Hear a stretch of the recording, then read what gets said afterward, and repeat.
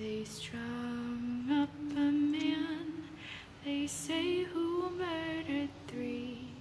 Strange things did happen here, no stranger would it be if they had.